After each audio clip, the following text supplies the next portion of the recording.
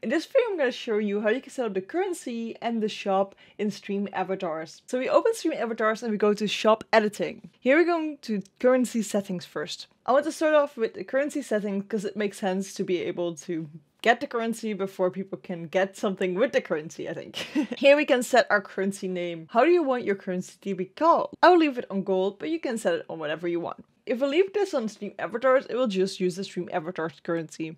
You can also link it to Streamlabs, Stream Elements, Streamlabs Local, which is Streamlabs chatbot, and mix it up app. Here we can always return to the pricing settings, which is the shop itself. So let's go back to the currency settings.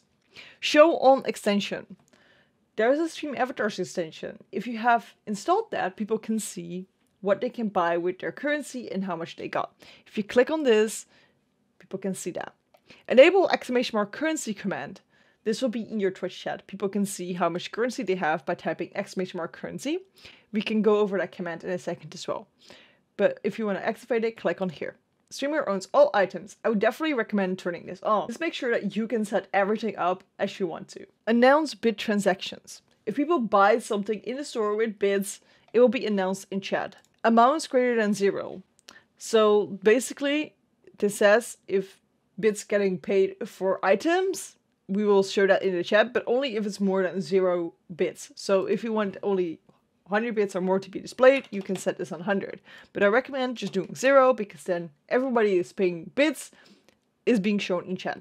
And this will be the message shown then. User, this is a bit of code that was sent for the name of the person who did it. So if I did it, this will just say Trui, has unlocked the item in the shop that they, that they have paid for with this amount of bits. So this is just the number they've paid for it. You can change this message as you want, but I do recommend keeping this bits of code in so you make sure that all the information is displayed in here. Income amount. This is how much they earn.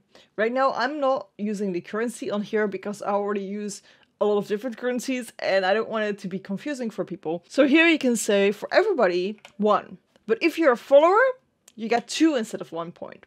But if you're a subscriber, you get even four. If you're a subscriber, you don't get seven, but you get four. As a subscriber we'll only use subscriber amounts, other incomes will not be added. So you will not get any of these other ones. Like I just said, you get just four. If you're followers, you just get two. If you're not following, you get one.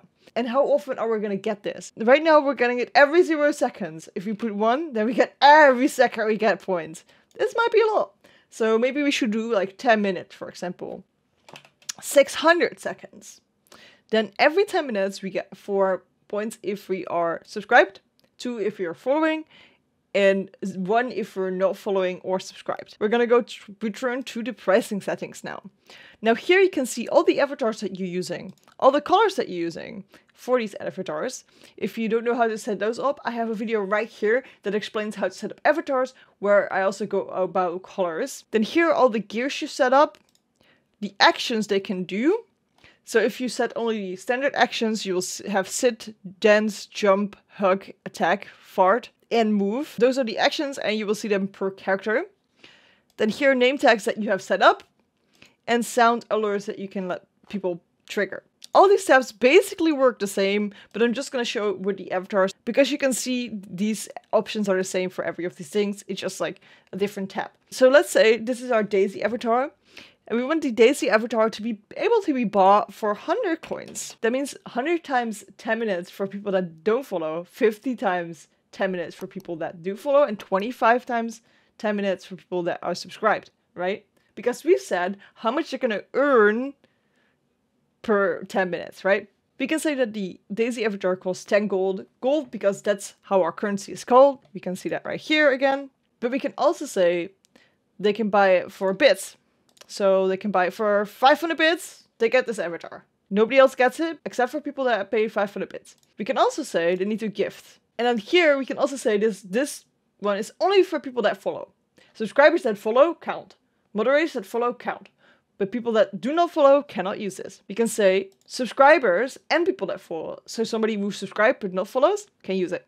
Somebody that follows but isn't subscribed can use it. Or we click on moderators. People that are moderators can use it. We can combine all these things, but the end, they need to be all. If you use or, we can have one of these instances and then they can use it. So with or, doesn't matter if you complete all of these things that we just fill in with N. You need to be all of the above to be able to use it. I want to be mine free, so I untick all of these. If everything is unticked and there is zero cost of it, everybody can use these avatars unless you've set your general here to be on follower only or on subscriber only.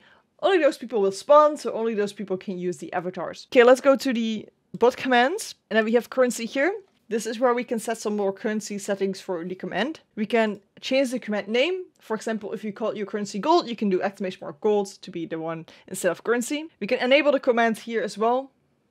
Enable output, which is these outputs. So now these work. Restrictions. Only me, the caster, the streamer can do it. Everybody that's bot can use the command. Everybody that's subscriber can use the command. Subs and follows, or everybody can check their currency. If people can use the input in chat, don't put in any of these ticks. But if you want people to whisper your bot, you can put this in. If you want your bot to whisper back, you can put this in. This is cooldown. CD is cooldown.